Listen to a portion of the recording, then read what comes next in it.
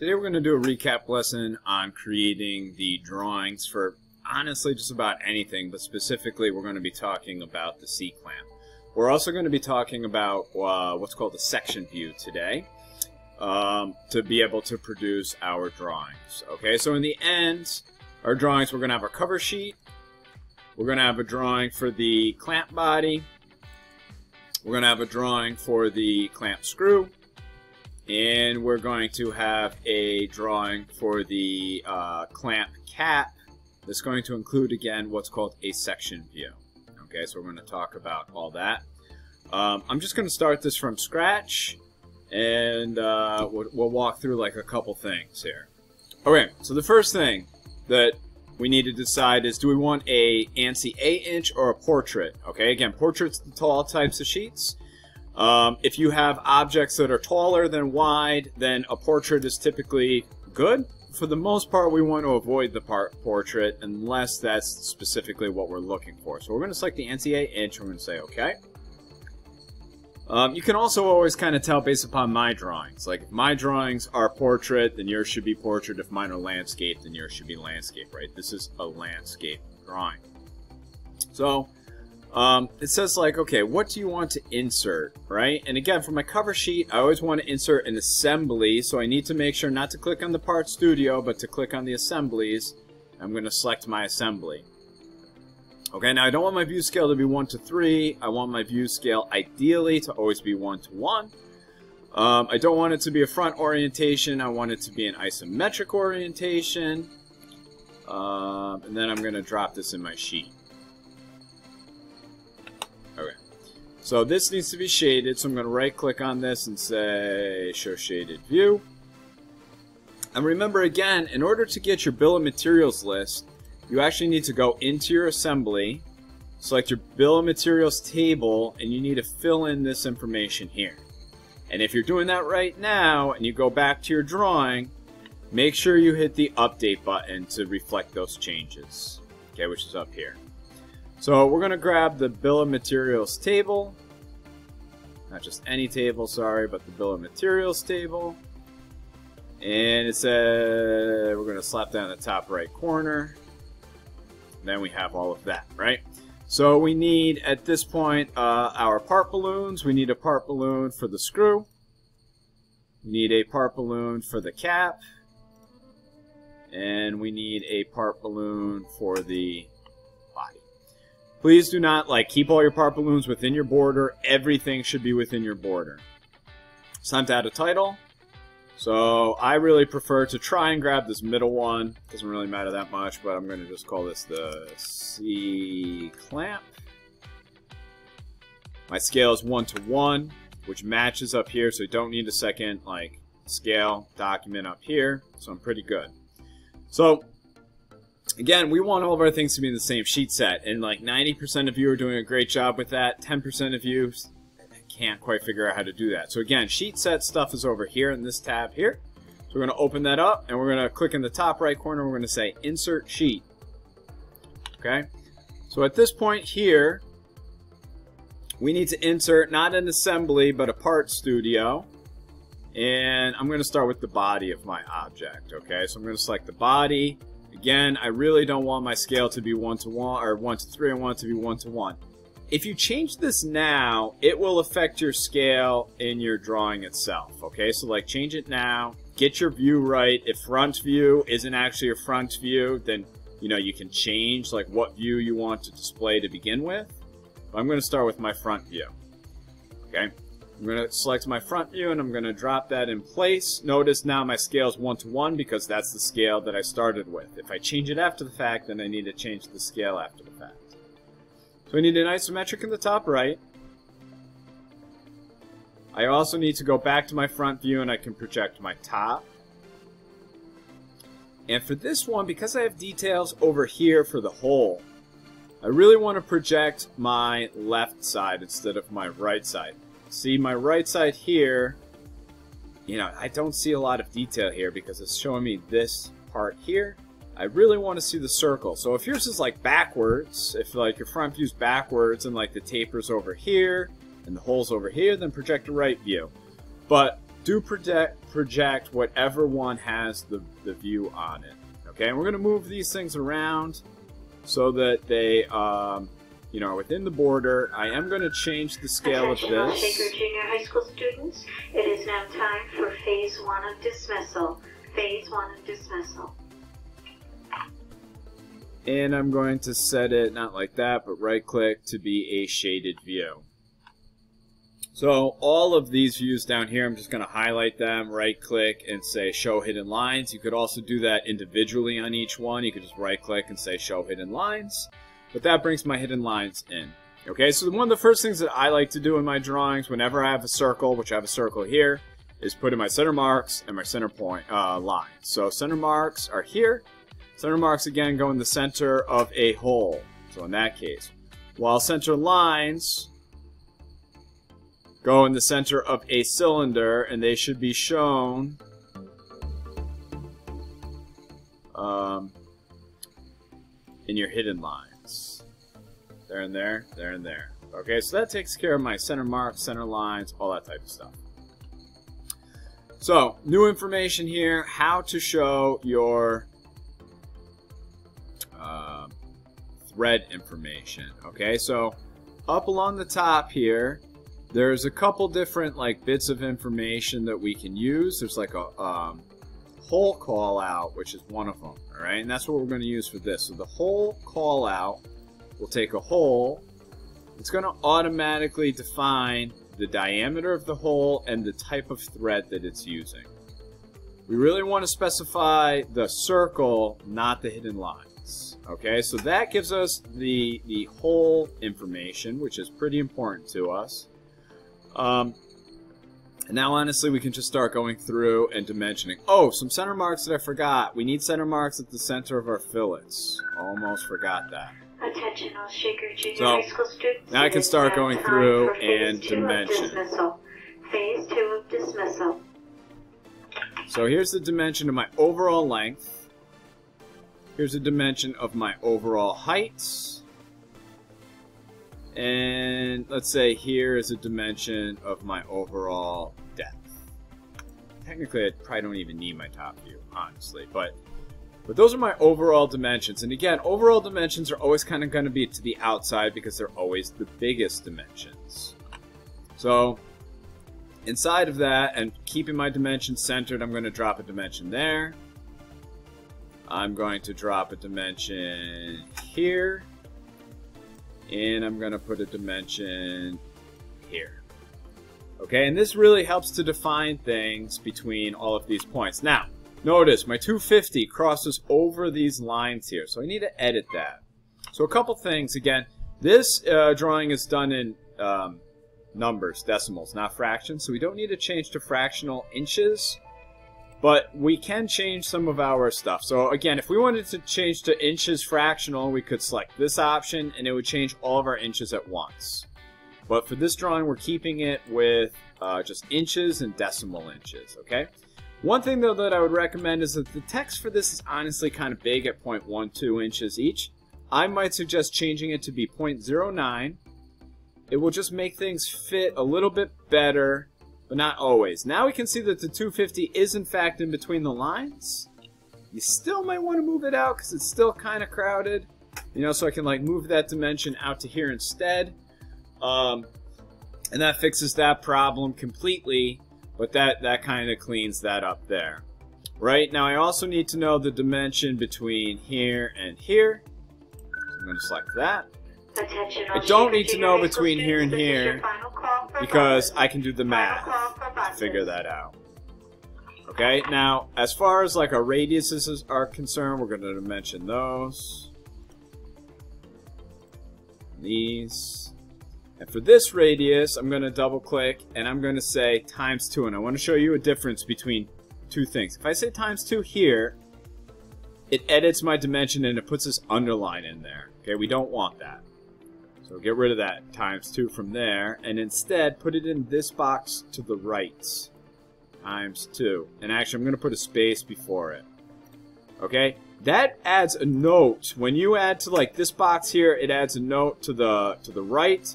I could also like type things down here and it would add notes below it. right? So you can add your note here. It doesn't put in that um, underline, and now we know that this radius of 0.25 is for two different radiuses, which references this radius here and this radius here. Um, despite the fact that this is in the middle kind of of my object, it's not on top of my object. Like it's not down here, it's not over here, it's not like over here.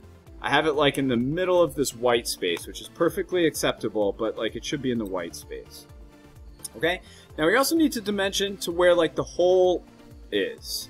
But we do not want to dimension to hidden lines ever. Okay, so in order to figure out where this hole is, we need to know how far it is from the right to the left, which is 0.375. We also need to know how far it is from the bottom to the top here. So that is, or from the top to the center there, which is 0.375.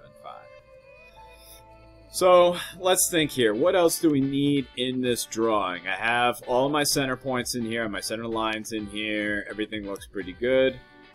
Um, I've got all my dimensions. I can figure out the position of different things based upon my dimensions. So I think I'm pretty good. Um, I do need to change this, and I'm going to name this C clamp um, body. This is the body. Check. Okay. Done. So we're going to now create a new sheet. And we're going to place, in this case, insert our screw. Okay, so again, scale not 1 to 3, but 1 to 1.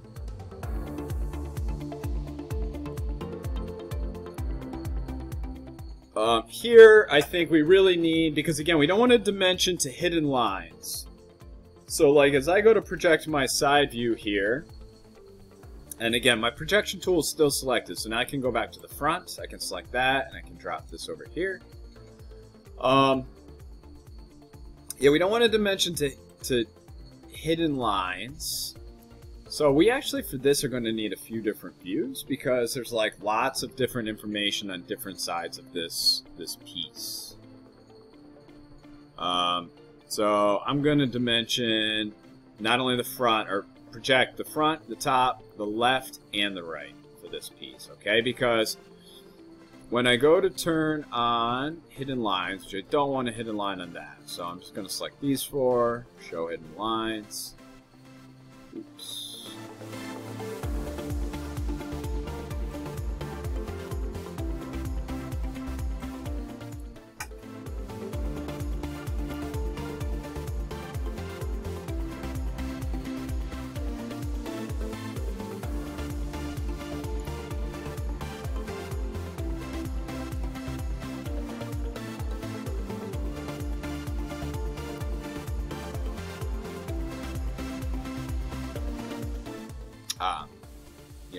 There's really not that many hidden lines, which I guess I keep forgetting. So, we're going to drop, and again, I'm going to arrange my views before I really start putting dimensions on. I just kind of like to get this stuff set up. Um, make sure that all my views are inside. Make sure that like I have my shaded views on for what I need my shaded views on. And again, the first thing that I kind of start working on is center points and center marks. And for this drawing, there are a lot of them every circle gets a center point, right? So this circle gets a center point. Oops, that's not the right tool. Center point, center mark, right there, okay? Uh, this circle down here gets a center mark. This circle up here gets a center mark. And then we start working on the center lines, which again, there's lots of them, okay? So cylinders get center lines. Like that cylinder gets a center line, that cylinder gets a center line, this cylinder gets a center line. I'm going to extend that here in a second. These two, get them. Computer's running slow. This and this gets one, this and this gets one. And then this and this gets one. And again, these two lines are too short. So I'm going to get out of that tool. I hit escape. And now I can just select that line and I can drag it. Remember, a center line is going to go a little beyond your object. So I'm going to drag this out beyond my object there. Do the same thing down at this end here. And of course, I'm going to do the same thing at the top. Okay, so there are all my center lines, all my views, all that type of stuff. So again, we cannot dimension to hidden lines. So like, we can't dimension to a lot of the stuff back here. So when we go into dimension here, I'm going to have a dimension here. I'm going to have a dimension for the bigger circle, and I'm going to have a dimension for the biggest circle. Now, the biggest circle could be dimensioned here, but we're not going to. You know, actually, in second thought, I guess I don't really need this view. Yeah, I don't need this view. So I, will just get rid of that reorganize. Um, so I have the diameter now of this circle here. Do not put a dimension like this in here, please, okay? Because dimensioning to like the square part of a cylinder, like when we look at it in a square versus dimensioning the diameter here, the diameter here is correct. This is, is bad dimensioning practice, okay? So you don't want to do that. You only want to put linear dimensions on linear objects. Well, this is a circular dimension, so we want to make sure that we're including um, a diameter symbol when it's greater than 180 degrees, or a radius symbol when it's equal to 180 or less. Okay, so we put that in there.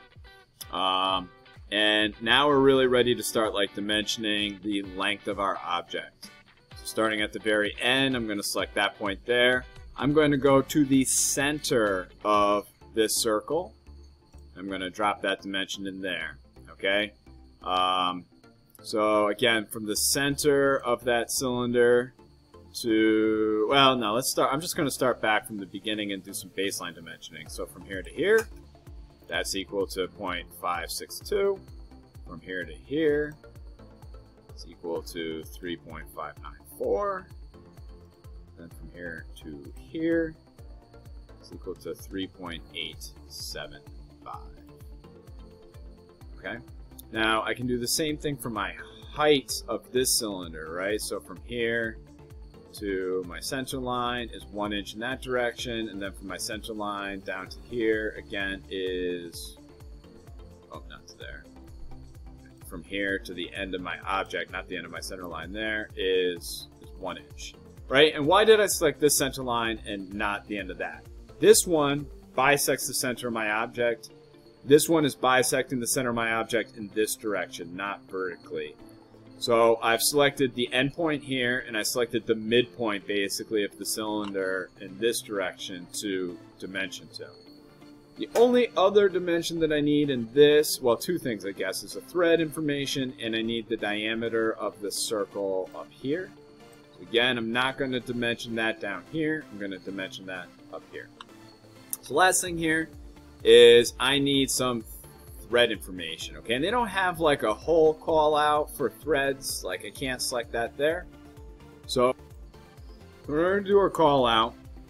We're actually going to select the same thing that we typically do with uh, like our, our balloons, all right? And when you open this thing up, it's going to start off being like a circle, and it's going to start off being item number, right? And if I were to drop this down here, it would give me my item number. Um, so that's not what I want it to do, so I'm just going to delete that. We're going to go back to the call out, and we're going to edit some stuff. All right, so instead of it doing our table number, we're going to delete that. We're going to put in our thread information, which is 316 18 Then underneath of the circle option, we don't want any sort of shapes. We're just going to say none. Okay. Now we have this, oh, and I forgot, I'm sorry, 3816 UNC, Unified Coarse Thread. Okay, so now we can select an object, like the edge of that screw, and we can drop our note in, and now we have a custom note made for, for that thread type. Alright, so again, this is going to be C-clamp um, screw.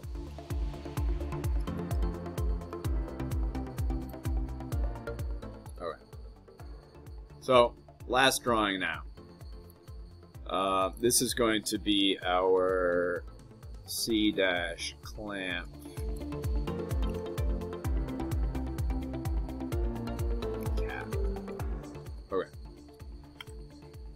So, for the cat, we're going to use uh, what's called a section view. All right, so let's just take a quick peek at what section view.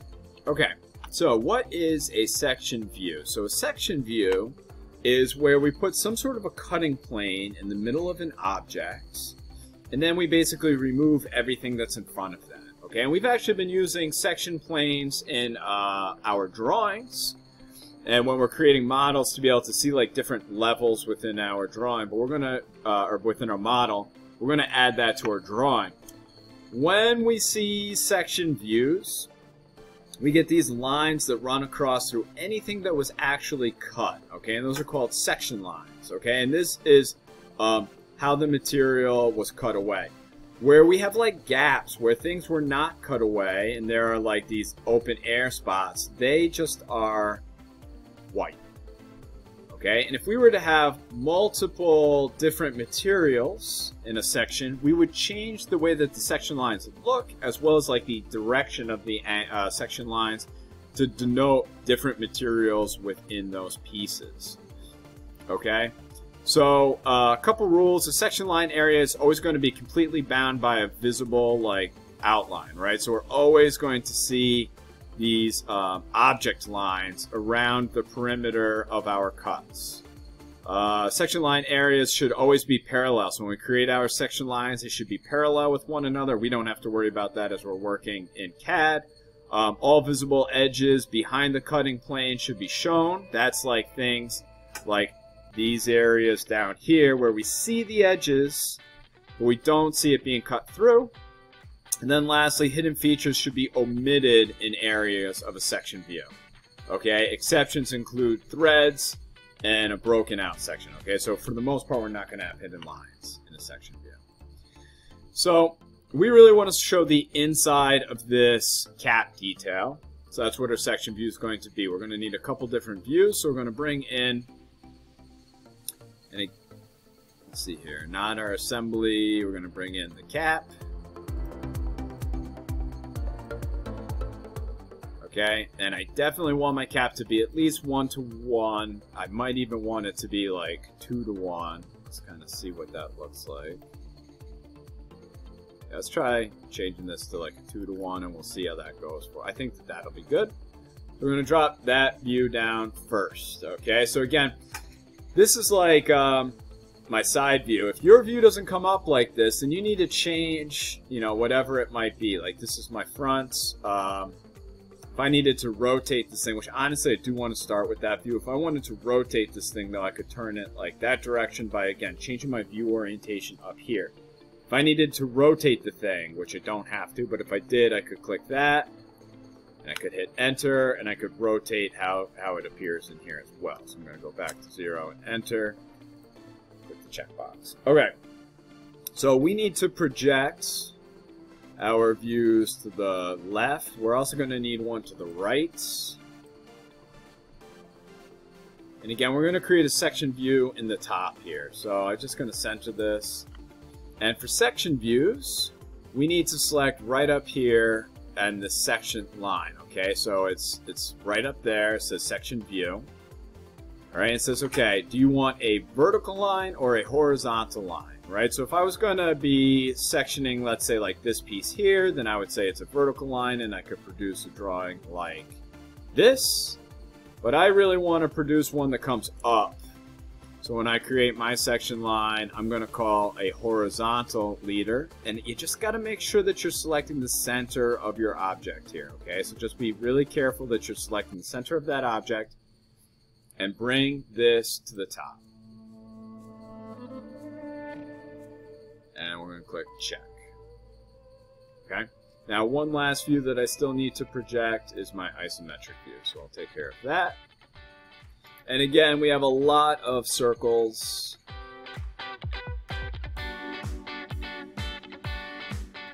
We have a lot of circles here, so we need a lot of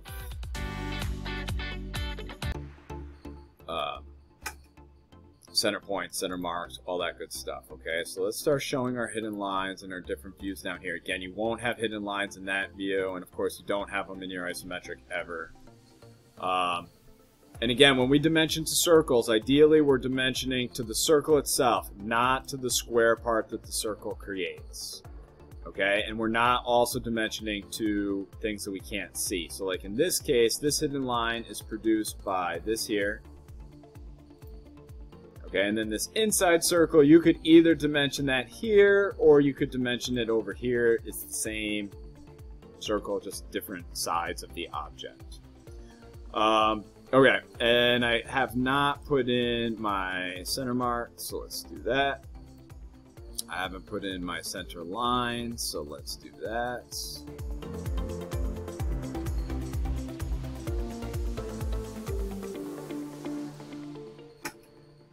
The center line down here is kind of split by the section line, so that's fine. Um, I think we're pretty good there. So the the the major dimensions for the size of this thing, for like the length of this thing, can be dropped in, you know, on your front view. Okay, we have the length from here to here.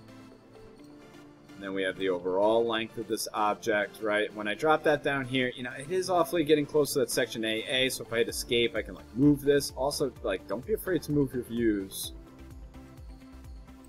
if things are getting crowded.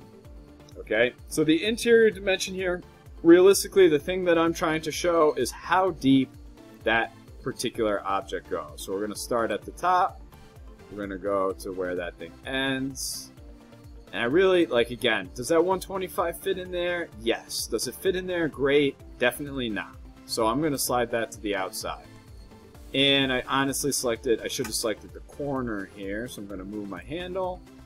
And that'll be pretty good. Right now my extension says starting here and going to there. So again here, I think I have just about everything dimensioned. I have the overall length. Um, I have the section down here. I have the diameter of the inner circle. I have the diameter of the outer circle. I have the diameter of the biggest part. And the diameter of like the um, the cutout in the middle. Okay? So in the end here, I've created all these sheets. Now again, Time to turn in these sheets. Two different ways to do that. The easiest way, honestly, these days is right click down on your drawing and say export. You want it to be a PDF. Change your name to be like C-clamp. Hit the, make sure you have color on and export the, the project and that's going to get dumped down into my um, downloads and then I can upload that to Google Classroom later on. There's my drawing right there. Okay? So, that's how we go through, produce the drawings. Make sure that everything is within your border before you turn it in. Make sure all of your dimensions are clearly visible. Make sure that if they are getting a bit crowded, that you move them to the outside. Um, you know, and just, again, check your drawings. Drawings are the most important part of this process, right? Like the modeling process gets us this object, but like this object can't be made from a model. The object gets made from drawings. So if you're not putting all of your information and not laying out your drawing and not working to make your drawing as clear as possible, then you're missing like a whole portion of this um, process here. All right?